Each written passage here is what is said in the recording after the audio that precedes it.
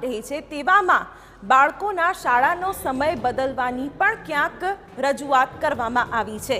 ખાસ તો ગરમી અને હીટવેવની આગાહીને લઈને શાળાઓનો સમય બદલવા રજૂઆત કરવામાં આવી છે. રાષ્ટ્રીય શૈક્ષિક મહાસંઘે રાજ્યની શાળાઓનો સમય બદલવા રજૂઆત કરી છે. વધુ પડતી ગરમીની વિદ્યાર્થીઓ પર માઠી અસર પડી શકે છે તેમ શૈક્ષિક મહાસંઘનું કહેવું છે.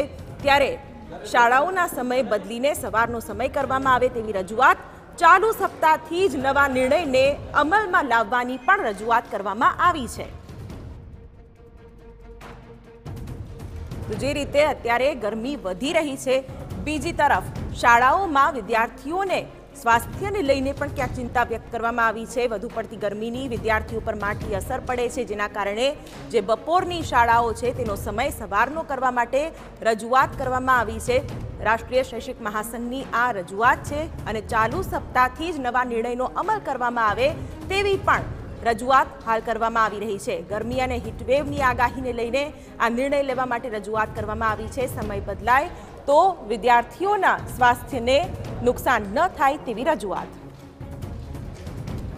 સંવાદદાતા નરેન્દ્ર રાઠોડ આ વિશે વધુ માહિતી આપી રહ્યા છે. નરેન્દ્ર, શાળાઓના સમય બદલવાને લઈને ક્યાંક રજૂઆત, કોઈ વિચારણા આને લઈને થઈ રહી છે કે કેમ?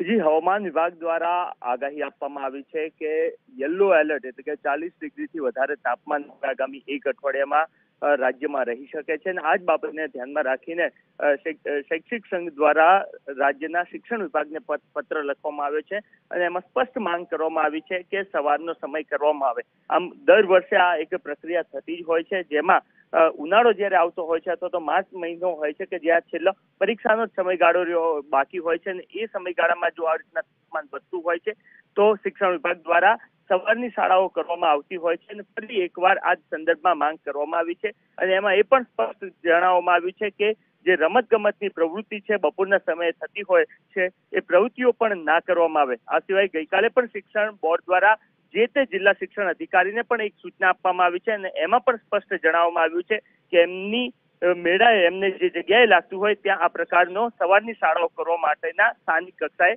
આદેશ આપવામાં આવે. જી. બિલકુલ નરેન્દ્ર.